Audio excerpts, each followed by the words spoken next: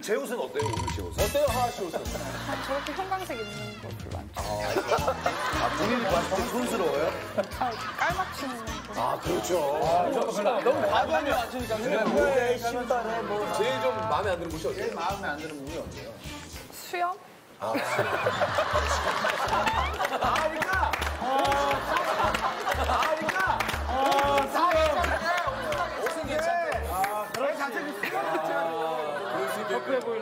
태훈이를 이렇게 불러놓고 그냥 가만히 앉혀두는 거야?